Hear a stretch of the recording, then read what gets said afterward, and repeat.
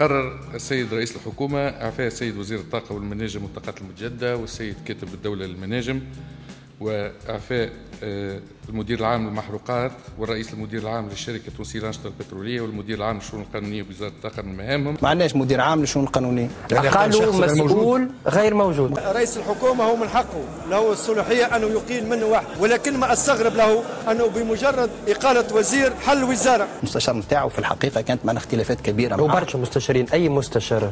الاقتصادي لله بالاقتصاد والاستثمار. فكانت خلافات لطفي بن ساسي وكانت معاه خلافات الحقيقة لا تطاق.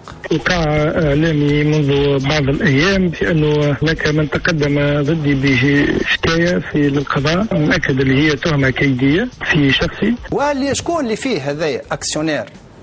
l'IFC البنك البنك العالمي. عالمي البنك العالمي استثمر فلوسه في في مشاريع ما فيهاش وثائق بدون وثائق. نحبوا نظلموا حد ما نحبوا نتهموا حد ولكن هذه ملفات هامة وخطيرة إحنا ما نجموش نسكتوا عليها. هذه قرارات مرتجلة.